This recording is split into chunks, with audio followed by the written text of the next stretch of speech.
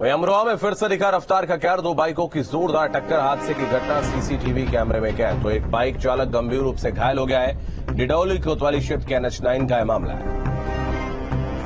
दो बाइकों की जोरदार टक्कर हो गई। आपको बता दें एक बाइक चालक गंभीर रूप से घायल हो गया है। रफ्तार का कहर यहाँ पर देखने को मिला है। तो तस्वीरें आप देख सकते हैं। अमरोहा में फिर से रफ्तार का कहर दिखा। दो बाइकों की जोरदार टक्कर हो गई।